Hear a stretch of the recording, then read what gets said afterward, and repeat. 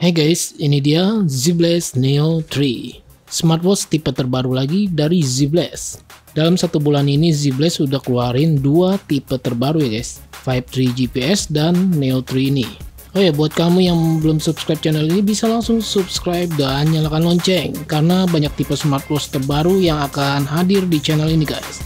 Save ready and let's get started.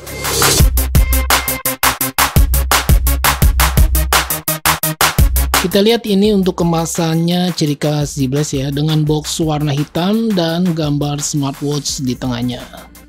Di bagian belakang ini ada tempat pembuatan produknya ya guys. Untuk harganya sendiri sekitar 400 ribuan atau 29,99 dolar. Link pembelinya saya taruh di deskripsi. Neo 3 ini termasuk smartwatch low budget menurut saya guys. Lebih murah dari Neo pertama dan Neo kedua. Kita lihat untuk di dalam kemasannya ini ada strap model leather ya, warna coklat. Smartwatch Neo 3 ini ada dua pilihan warna guys, warna hitam dan coklat. Ini saya sengaja pilih yang warna coklat ya, biasanya hitam mulu bosen.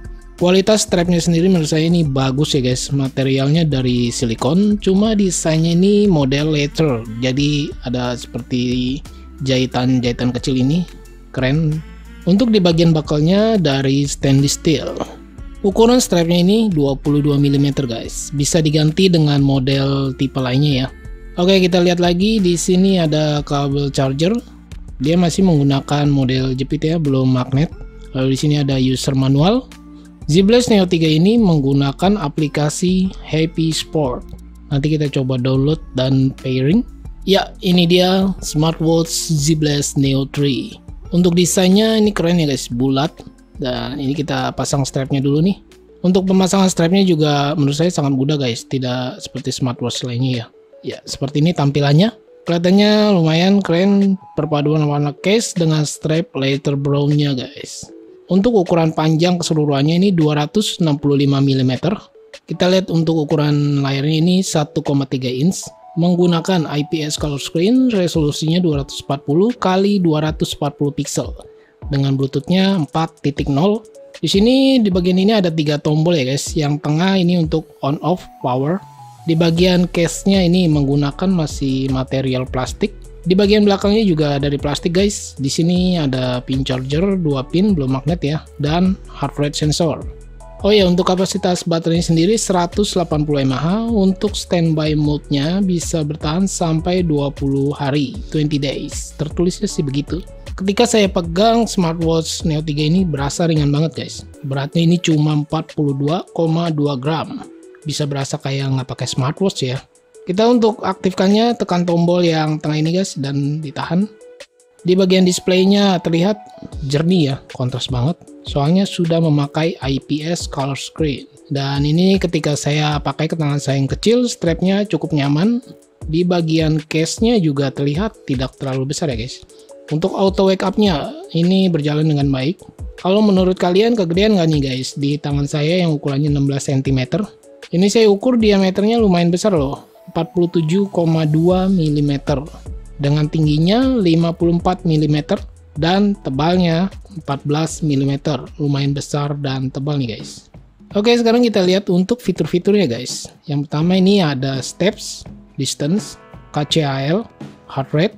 Untuk aktifkan fitur heart rate nya ini tekan tombol yang tengah ya guys. Dia berjalan secara dinamis atau berkelanjutan. Sini juga ada mode sport. Tekan lagi yang tengah untuk start Lalu kita tekan yang bagian atas ini untuk melihat fitur selanjutnya guys, seperti lari, bersepeda, dan mendaki.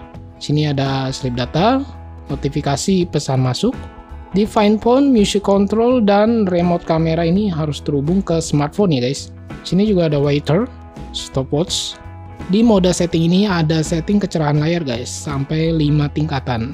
Oh ya, sekedar info nih guys, di Neo 3 ini semuanya harus menggunakan tombol ya, fisik ini ya, yang tiga ini. Dia belum touchscreen layarnya.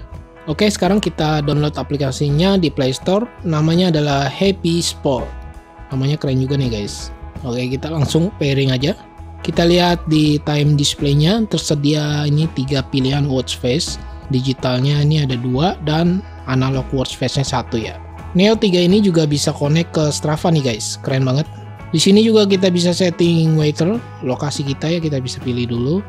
Lalu ini saya tes kalau ada notifikasi masuk WhatsApp ya seperti ini guys.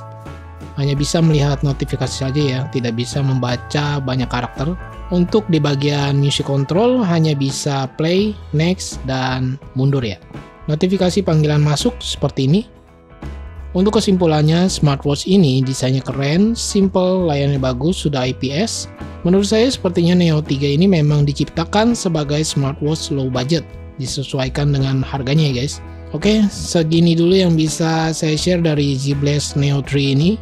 Jika ada yang kurang jelas bisa bertanya di komentar atau ke Instagram saya @fredius. Terima kasih banyak buat yang sudah menonton. Saya Freddy and see you next video.